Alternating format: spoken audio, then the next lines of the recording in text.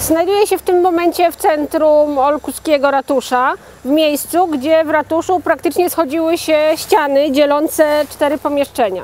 Y, Tutaj przede mną widoczne są pozostałości pieca hypokaustycznego, który kiedyś służył do ogrzewania ratusza. Przede mną znajdują się południowe pomieszczenia ratusza, y, południowe, czyli większe. W tych pomieszczeniach kiedyś Prawdopodobnie w jednym z nich funkcjonowała karczma. Południowo-wschodnia część ratusza zburzona jest y, przez pozostałości, zburzona jest przez wieżę ciśnień, zbudowaną na początku XX wieku. No więc to są pozostałości pieca hypokaustycznego, to znaczy ta część konkretnie to jest, y, zdaje się, fundament. Piec znajduje się na, górę, na górze, natomiast ten fundament jest bardzo ładnie zrobiony. Tutaj są bardzo piękne y, takie narożne kostki, bardzo ładnie obrobione. Jak to zobaczył, już nie pamiętam który, ale któryś fachowiec od architektury to mówił, że to jest bardzo starannie wykonane i że jakość w ogóle y, budowy tutaj ratusza i między innymi tego pieca jest o wiele lepsza niż y, w pozostałościach ratusza krakowskiego. No co świadczy o tym, że po prostu miasto było bardzo bogate i, i bardzo się starali mieć wszystko eleganckie. Tutaj za, za piecem y, mamy pozostałości chyba jakiejś szafki ściennej. Też z drugiej strony je zobaczymy, bo tam są fajnie zachowane. No w każdym bądź razie tutaj ewidentnie mieli jakiś schowek.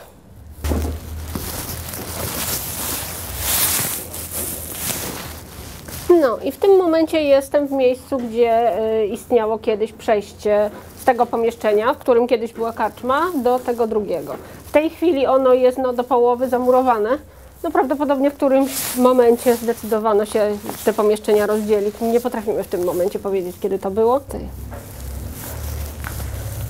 Stoję pod południową ścianą ratusza od wewnętrznej strony i w ścianie nade mną widoczny jest szacht okienny i wcześniej te okienka no, służyły być może nie tylko dostarczaniu do piwnicy powietrza i słońca, ale właśnie też do, na- służyły do przechowywania różnych rzeczy. Może zrzucano tutaj beczki z piwem. Wieża ciśnień wygląda strasznie fajnie z tego punktu widzenia, bo wygląda jak taki porządny, prawdziwy kawałek Bastylii w tym miejscu, gdzie teraz znajdują się te fundamenty, yy, bardzo możliwe, że w średniowieczu i no, dopóki istniał ratusz, a nie istniała jeszcze wieża ciśnień, że gdzieś w tym rejonie znajdowało się oryginalne, prawdziwe zejście do tej południowej części ratusza.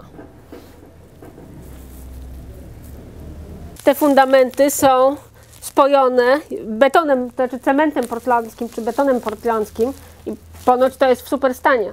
Także jeśli tu ktoś będzie chciał w przyszłości zrobić przejście do tych pomieszczeń, to będzie miał twardy orzech do zgryzienia. W tym momencie siedzę sobie w przejściu z pomieszczenia południowo-wschodniego do pomieszczenia południowo-zachodniego. Ten kamień i ten są pozostałościami ościeżnic portalu, który tu kiedyś istniał, jakby wykańczał przejście, to w którym się w tej chwili znajduje. Natomiast na dole pode mną, mnie to jest ciężko pokazać, ale tam widać, znajduje się próg tego samego przejścia.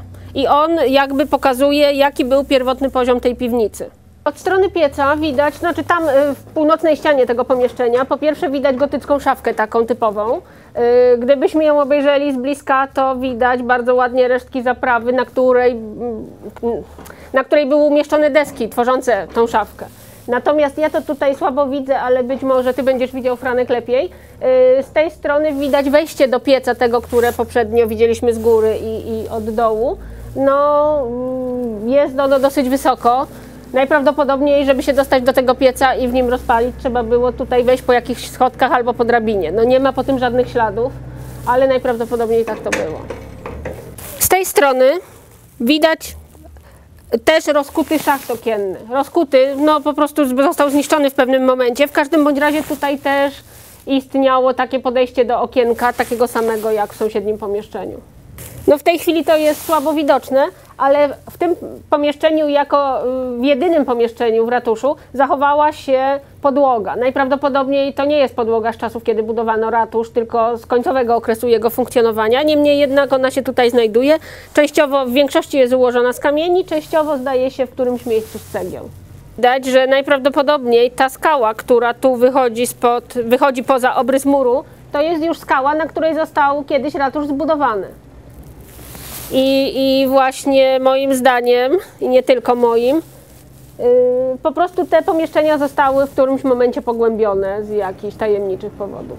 W tej chwili jestem odwrócona twarzą na północ i przede mną znajdują się pomieszczenia północne ratusza. To pomieszczenie, nad którym w tej chwili stoję, jest to jedyne pomieszczenie w ratuszu, yy, do którego znaleźliśmy wejście z zewnątrz. Przede mną, to potem zobaczymy lepiej, yy, widać schody, po których niegdyś można było schodzić do piwnic.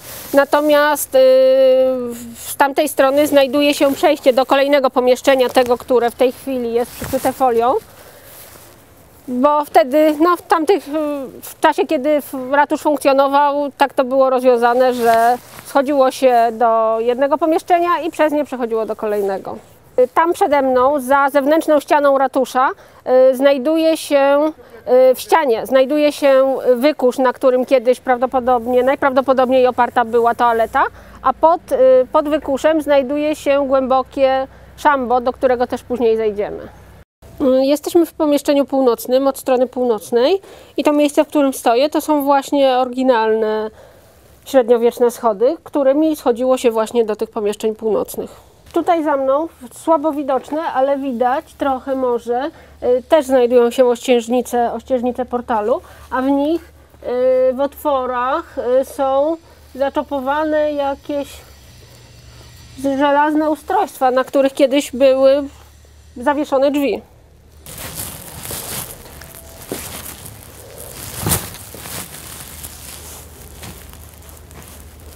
No i w tym momencie znajduję się w tym pomieszczeniu wschodnim ratusza, tym, do którego prowadzą schody z zewnątrz. Przede mną znajduje się pozostałość tych schodów, które nie były wbudowane w ścianę, tylko znajdowały się w obrębie pomieszczenia. Są tak jakoś dziwnie przemieszczone. Tak naprawdę to też nie wiemy, dlaczego one znajdują się w takiej dziwnej pozycji. W ścianie za mną znajduje się kolejna szafka, w której kiedyś no, przechowywano. Natomiast ta kupa gruzu to są pozostałości budulca ze sklepień i fragmentów architektonicznych, które być może kiedyś funkcjonowały na górnych poziomach ratusza. Że z bliska widać, że boki szafek są ładnie wyrównane zaprawą i z tyłu najprawdopodobniej y, była wsadzona deska, która jakby zasłaniała tylną ścianę.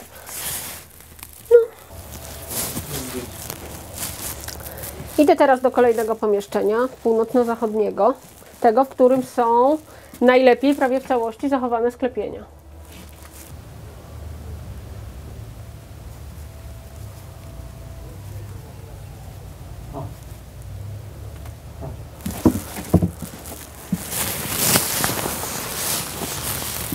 No, natomiast to pomieszczenie właśnie, mimo że ma najlepiej zachowane sklepienie, jest najgorzej odgruzowane. A to wynika z tego powodu, że mówię, ta szczerba, która tutaj jest widoczna w sklepieniu, jest y, stosunkowo późna. Ona pochodzi z czasów, kiedy budowano wieże ciśnień, czyli z początków XX wieku. Y, W momencie, kiedy burzono ratusz, y, tej szczerby w sklepieniu jeszcze nie było i żeby tutaj pomieszczenie zasypać gruzem, tam gdzie w tej chwili są tylko deski i no nic nie widać, ale my wiemy, od góry można to zobaczyć, że tam znajduje się taka całkiem spora dziura, przez którą wykuto w sklepieniu właśnie w tym celu, żeby wsypać tutaj gruz. No i to pomieszczenie na planie z czasów poprzedzających o parę lat zburzenie ratusza jest opisane jako więzienie. Mówię, że to sklepienie się świetnie trzyma.